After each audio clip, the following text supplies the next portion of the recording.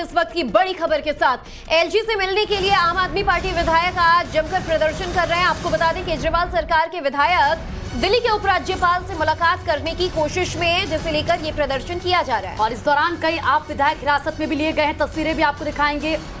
किस तरीके से आपके विधायकों ने प्रदर्शन किया है? उपराज्यपाल के आवास के बाहर देखिए, जमकर आपके विधायकों की तरफ़ से प्रदर्शन किया गया। जब हंगामा हुआ तो फिर इन विधायकों को हिरासत में लिया गया। दरअसल, आपके विधायक एलजी से मिलने की मांग पर अड़े हुए थे और इसी को लेकर वो लगातार धरना प्रदर्शन कर रहे थे। तो तस्वीरें भी इस वक्त आपके सामने एलजी से मिलने के लिए जब आम आदमी पार्टी के विधायक पहुँचे तो जमकर यहाँ पर हंगामा हुआ और इस दौरान कई एमएलओ को विधायकों को हिरासत में भी लिया गया।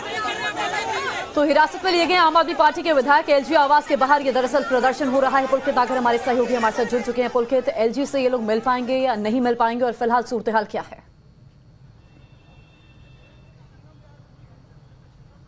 देखिए, अभी जितने भी विधायक यहाँ पहुँचे हुए थे, उन्हें डिटेन कर दिया गया है, लेकिन उसके साथ ही मैं आपको यहाँ पैम्पलेट जो पड़े हुए हैं, वो दिखा देता हूँ। इस पर लिखा हुआ है, एलजी साहब, कुछ काम कर लो, कानून व्यवस्था का ध्यान कर लो। ये पैम्पलेट लेकर आम आदमी पार्टी के विधायक इसी जगह पर प्रोटेस्ट कर रहे थे। सीधा एलजी हाउस का जो सचिवालय है, ये रास्ता वहाँ जाता है, लेकिन उन तमाम लोगों को अभी थोड़ी देर पहले डिटेन किया गया है। मांग ये थी कि आज संगम बिहार में जिस तरीके की घटना हुई, उसे लेकर वो कानून व्यवस्था को, दिल्ली की कानून व्यवस्था पर सवाल उठा रहे थे और ये सवाल उठा रहे थे कि आखिर पिछले कुछ दिनों का रिकॉर्ड देखे तो दिल्ली में कानून व्यवस्था का बुरा हाल है। ये आरोप लगाते हुए वो उन्होंने उपराज्यपाल से मिलने का वक्त मांगा था, लेकिन वो वक्त जब नहीं मिला तो उन्होंने यहाँ पे धरना दिया और उसके बाद अभी थोड़ी देर पहले क्योंकि रास्ता ब्लॉक था उसी के लिए पुलिस ने इस रास्ते को खाली कराते हुए तमाम जो विधायक थे उन्हें डिटेन किया। जी।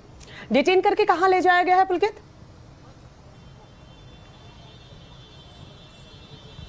देखिए यहाँ से ही पास में ये थाना पड़ता है इस इलाके का वहाँ पर उन्हें ले जाया गया है। सिविल लाइन थाना है, जहाँ पर उन्हें डिटेन किया गया। सिविल लाइन थाना यहाँ से चंद कदमों की दूरी पर है। और क्योंकि धारा 144 का उल्लंघन है तो थोड़ी देर बाद उन्हें रिहा कर दिया जाएगा डिटेन किया गया है। उनसे पेपर पे साइन कराए जाएँगे, उसके बाद उन्हें रिहा कर दिया जाएगा। लेकिन जो सवाल था उनका, वो आज की जो दिल्ली की घटना है, संगम बिहार की, जिसमें एक लड़की को निशाना बनाया गया, गोली मारी गई, उसको लेकर था और साथ ही लॉ एंड ऑर्डर की स्थिति पर था, जिसे लेकर वो ये कह रहे हैं कि दिल्ली में पिछले कुछ दिनों में लॉ एंड ऑर्डर के बुरे हालात हैं। और इस पर एलजी साहब को काम करना चाहिए। ये आरोप लगाते हुए ये सवाल उठाते हुए वो यहाँ धरना कर रहे थे और आम आदमी पार्टी के तमाम जो विधायक थे वो यहाँ बैठे थे। करीब एक से डेढ़ घंटे ये प्रोटेस्ट चला। उसके बाद में पुलिस ने रास्ता खुलाने के लिए और साथ ही धारा एक सौ चौवालीस को देखते हुए यहाँ से तमाम विधायकों को डिटेन किया जिसके बाद उन्हें यहाँ से ले जाया गया जी पुलकित बहुत बहुत शुक्रिया आपका तमाम जानकारी देने के लिए और